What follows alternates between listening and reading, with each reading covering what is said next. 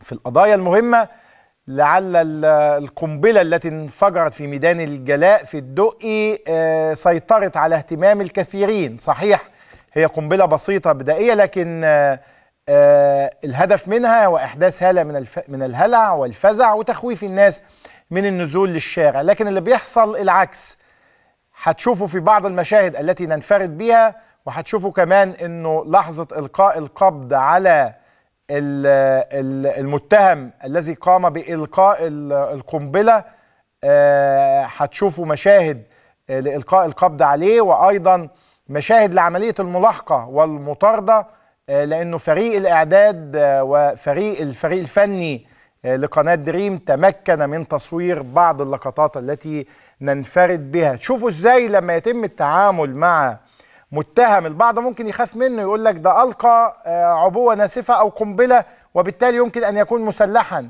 لكن الناس لاحقته وطاردته خاصة آه، سائق التاكسي اللي قام بملاحقته ونتيجة لذلك هتشوفوا تحطمت آه، سيارته. لكن شوفوا تعامل المصريين مع حوادث من هذا النوع. في الكثير من دول العالم بتلاقي إنه حالة ال... يسموها كده يعني حالة الهروب إذا ما حدثت آه، مشاكل آه، من هذا النوع كما نشاهد في كل دول العالم. لكن مع المصريين يلاحقون الارهابي وتمكنوا من القبض عليه وحنشاهد لحظة القبض عليه وحنشاهد آه، وجهه. هذه المشاهد ننفرد بها.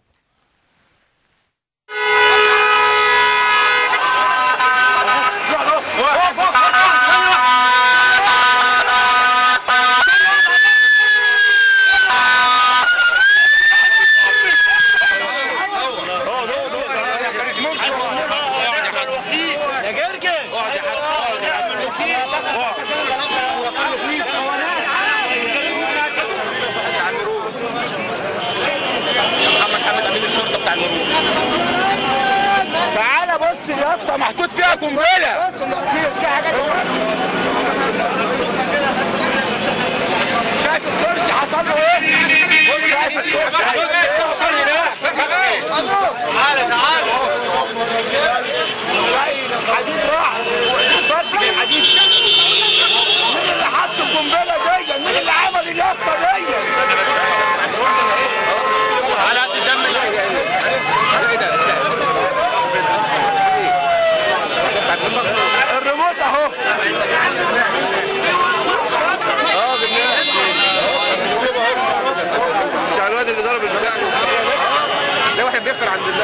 ده هو يسبهم الناس إيه روح الناس على الصبح دي حرام عليه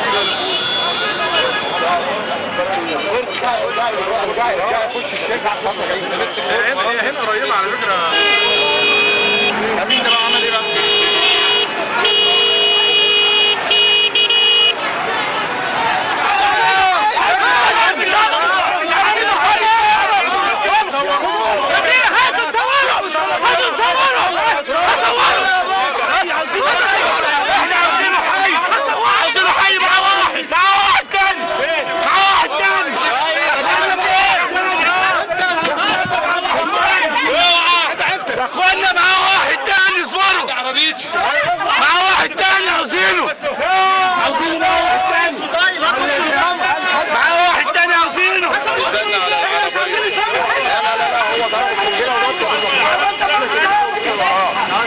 ¡Gracias!